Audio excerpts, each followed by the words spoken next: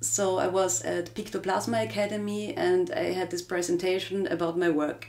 And everyone else was more or less like, these are my characters and I make drawings and I make them for online games or stuff like that. And I was like, these are my characters and I'm I'm making uh, I make drawings, I make installations, I make theater and on and on and on. I create little stories for them. And in the end, one of those guys, he asked me, You are doing so many things. Do you even know who you are? And I was like, What? What? and yeah, and I felt really insecure about it because I was like, Yeah, who am I? So what what what is it that, I, that I'm creating?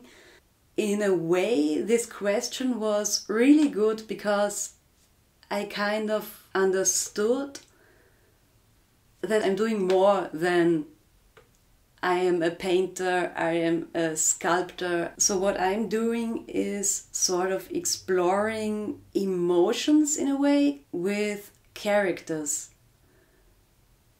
I don't know if this makes any sense right now, but I have the feeling that this is what I do. So, if someone would ask me, What do you do for a living? I'd say I'm a character artist, to make a long story short.